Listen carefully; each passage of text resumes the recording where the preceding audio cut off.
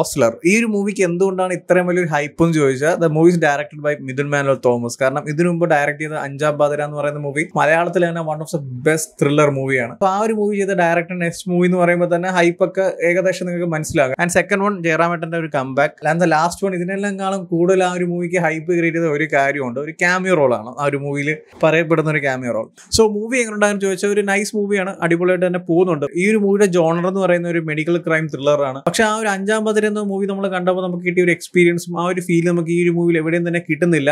കാരണം ആ ഒരു മൂവിയുടെ ഡയറക്ടറാണ് ഈ ഒരു മൂവി ഡയറക്ട് ചെയ്തത്. സോ നമ്മൾ കുറച്ചെങ്കിലും നമ്മൾ എക്സ്പെക്ടേഷൻ വെക്കും. കാരണം മലയാളത്തിലെ വൺ ഓഫ് ദ കിടിലം ത്രില്ലർ മൂവി ഒരു ഡയറക്ടറാണ് സോ ആ ഒരു ഡയറക്ടറിന്റെ നെക്സ്റ്റ് മൂവി എന്ന് പറയുമ്പോൾ തന്നെ നമ്മുടെ മനസ്സിൽ ഒരു പോയിന്റ് കാണും. ഓക്കെ ഈ ഒരു ലെവൽ കാണും നോക്കി പക്ഷേ ഈ ഒരു മൂവി കണ്ടപ്പോൾ ആ ഒരു ഫീലൊന്നും എവിടെയും കിട്ടിയിട്ടില്ല. എന്നും പറഞ്ഞ് അത്ര ഷോകമൊന്നല്ല ഞാൻ പറയുന്നത്. ഒരു നൈസ് മൂവി തന്നെയാണ്. ആൻഡ് കം ബാക്ക് ഓഫ് ജയറാമേട്ടൻ. ജയറാമേട്ടൻ അടിപൊളിയായിട്ട് തന്നെ ചെയ്തിട്ടുണ്ട്. ആ ഒരു ക്യാരക്ടറൊക്കെ നൈസായിട്ട് തന്നെ പ്രസന്റ് ചെയ്തിട്ടുണ്ട്. ഒരു ഇൻസോമേനിയെ ബാധിച്ച ഒരു പോലീസ് ഓഫീസർ അയാൾ കേസ് അന്വേഷിക്കും എങ്ങനെയായിരിക്കും ആ കാര്യങ്ങൾ അല്ലെങ്കിൽ ആ ക്യാരക്ടർ എങ്ങനെയായിരിക്കും ആ ഒരു കേസ് ഡീൽ ചെയ്യുന്നൊക്കെ ഈ ഒരു ഇൻസോമേനിയ പ്ലസ് ഒരു പോലീസ് ഓഫീസർ എന്നൊക്കെ പറഞ്ഞപ്പോൾ തന്നെ എന്റെ മൈൻഡിൽ ആദ്യം വന്നെന്ന് പറയുന്ന ഇൻസോമേനിയാണ് directed by Christopher Nolan so അതിൽ അൽപ്പസീനോ ചെയ്ത ഒരു ക്യാരക്ടർ ഉണ്ട്. അതും ഇൻസോമേനിയ ഉള്ള ഒരു പോലീസ് ഓഫീസറാണ് ഒരു കേസ് ഹാൻഡിൽ ചെയ്യുന്നത്. ആ ഒരു ക്യാരക്ടർ പോലെയാണോ ജറാമേട്ടന്റെ ഈ ഒരു ക്യാരക്ടർ എന്ന് വെച്ചാൽ അങ്ങനെയൊന്നുമല്ല. ഒരു ചെറിയ റെഫറൻസ് ഒക്കെ നമുക്ക് കാണാൻ പറ്റും. സോ ആ ഒരു ഇൻസോമേനിയ എഫക്റ്റ് ആയ ഒരു പോലീസ് ഓഫീസർ അല്ലെങ്കിൽ ആ ഒരു ഡിപ്രഷൻ സ്റ്റേജിലേക്ക് നിൽക്കുന്ന പോലീസ് ഓഫീസർ എങ്ങനെയാണ് ആ ഒക്കെ ഹാൻഡിൽ ചെയ്യുന്നത്? അല്ലെങ്കിൽ പുള്ളിക്കാരുടെ സ്റ്റൈൽ എങ്ങനെയായിരിക്കും? അല്ലെങ്കിൽ ആ ഒരു സിറ്റുവേഷനിൽ നിൽക്കുന്ന ഒരു പോലീസ് ഓഫീസർ മറ്റുള്ള കാര്യങ്ങളൊക്കെ എങ്ങനെ നോക്കി കാണുന്നു? വളരെ അടിപൊളിയായിട്ട് തന്നെ ജയറാമേട്ടൻ പെർഫോം ചെയ്തിട്ടുണ്ട്. ആ ഒരു ക്യാരക്ടർ പ്രസന്റേഷൻ ആയാലും ആ ഒരു ക്യാരക്ടറിന്റെ ലുക്ക് ആയാലും ആ ഒരു ഡയലോഗ് ഡെലിവറി ആയാലും വളരെ അടിപൊളിയായിട്ട് തന്നെ പ്രസന്റ് ചെയ്തിട്ടുണ്ട്.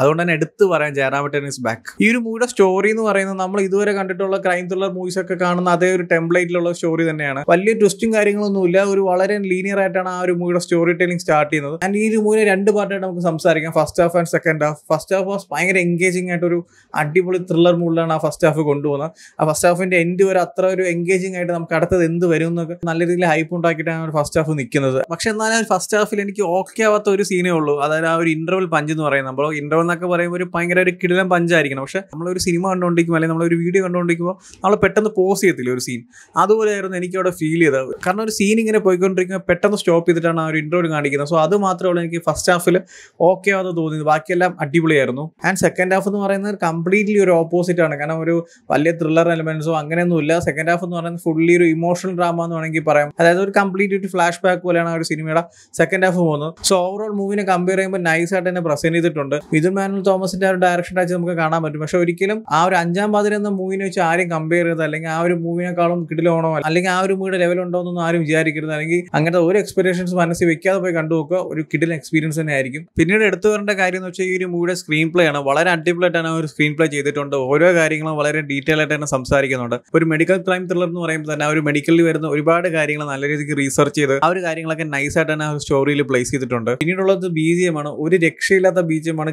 സാധനമാണ് എന്റെ മൂവിൽ ആ ഒരു ബി ജി എം ബ്ലെൻഡ് ചെയ്ത് പോകുന്നൊക്കെ വേറെ ലെവൽ സാധനമാണ്. ചില നോർമൽ ആയിട്ട് പോകുന്ന സീൻസ് ഒക്കെ ആ ഒരു ബി ജി എം കൊണ്ട് മാത്രം നല്ല രീതിക്ക് തന്നെ അപ്ലിഫ്റ്റ് ചെയ്യുന്നുണ്ട്. സോ ബി ജി എം എന്റെ മൂവിൽ ഒരു രക്ഷയില്ല കിടിലായിട്ടാണ്. പിന്നീട് ഈ മൂവിയുടെ ടെക്നിക്കൽ സൈഡ് നോക്കുവാണെങ്കിൽ D O P colouring editing ഒക്കെ അടിപൊളിയായിട്ട് തന്നെ വർക്കൗട്ട് ആയിട്ടുണ്ട്. അതിലും ഒരുപാട് കിടിലും കിടിലൻ ഷോർട്സും കാര്യങ്ങളൊക്കെ ഉണ്ട്. നൈസ് ആയിട്ടുള്ള കുറെ ഫ്രെയിംസും അടിപൊളി ഡി ഒ പി ആയിരുന്നു. എഡിറ്റിംഗ് ആയാലും കളറിംഗ് ആയാലും എല്ലാം നൈസ് ആയിരുന്നു. പിന്നീടുള്ളത് മോസ്റ്റ് അവൈറ്റഡ് ക്യാമിയോ അല്ലെങ്കിൽ ഈ മൂവിക്ക് ഇത്രയും വലിയൊരു ഹൈപ്പ് ഉണ്ടാകാൻ കാരണമായ ഒരു ക്യാമിയോ വേറെ ആരുമല്ല. മമ്മൂക്ക എല്ലാവർക്കും അറിയാം. ഞാൻ ഞാൻ ഇനി സ്പോയിൽ ചെയ്ത് അല്ലെങ്കിൽ ഞാൻ സസ്പെൻസ് വിളിച്ചെന്നല്ല എല്ലാവർക്കും അറിയാം മമ്മൂക്കുള്ള കാര്യം. ട്രെയിലറിൽ പോലും ലാസ്റ്റിൽ മമ്മൂക്കയുടെ സൗണ്ട് ഉണ്ട്. സോ ആ ഒരു സീൻ എങ്ങനെ ഉണ്ടായിരുന്നു ചോദിച്ചാൽ ഞാൻ അധികമൊന്നും പറയുന്നില്ല. പക്ഷെ ഒരു കാര്യം പറയാം. മമ്മൂക്കയുടെ ആ ഒരു ക്യാരക്ടറിനെയോ അല്ലെങ്കിൽ അതിന്റെ ഡീറ്റെയിൽ ആയിട്ടൊന്നും ഒന്നും പറയുന്നില്ല.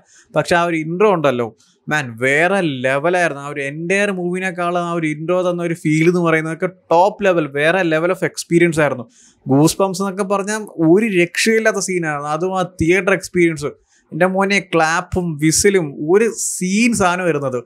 മമ്മൂക്കയുടെ ഇൻട്രോ മമ്മൂക്കയുടെ ലുക്ക് ഒരു രക്ഷയില്ല. ആ ഒരു സീൻ നിങ്ങൾ തിയേറ്ററിൽ മിസ് ചെയ്യരുത്. കാരണം അമ്മാതിരി ഒരു ലെവൽ ഓഫ് ഫൈറ്റുമാണ് അത്. പിന്നീടുള്ള ഈ മൂവിയിലെ ക്യാരക്ടേഴ്സിന്റെ പെർഫോമൻസ് ആണ്. എല്ലാവരും നൈസായിട്ട് തന്നെ ചെയ്തിട്ടുണ്ട്. ജയറാമേട്ടനായാലും മറ്റുള്ള വരുന്ന എല്ലാ ക്യാരക്ടേഴ്സും ഫ്ലാഷ് ബാക്കിൽ വരുന്നതായാലും എല്ലാം. പക്ഷേ പിന്നീട് ഇതിൽ ഒരു നൈസ് ക്യാരക്ടർ തന്നെ അർജുൻ അശോകൻ ചെയ്തിട്ടുണ്ട്. ആ ഒരു ക്യാരക്ടറൊക്കെ നൈസ് ആയിരുന്നു.